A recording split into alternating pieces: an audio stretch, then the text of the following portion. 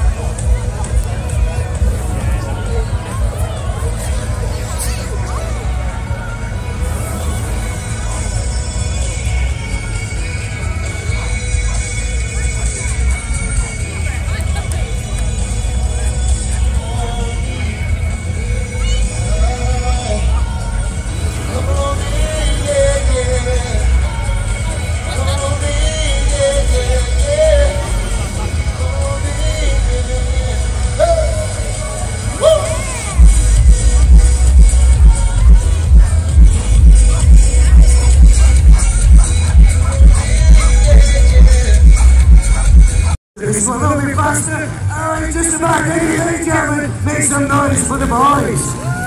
Absolutely perfect timing there. I hope some of you guys got an absolute fantastic photograph there of the quads. Unlike a motorbike, you've got absolutely no control whatsoever where that quad goes it. The only thing we can do is ensure it's on a nice flat concrete surface on tarmac. However, you can imagine how hard this is, trying to two-wheel drive this pilot on grass, on a bumpy, bumpy field. It is extremely difficult. Look how much that thing's bounced about. Right, ladies and gentlemen, so Jay Bentham is ready, here it comes. So ladies and gentlemen, make some noise! Oh, that was quite close, is he going to stop? Oh, yes, yes. Ladies and gentlemen, Jay Bentham!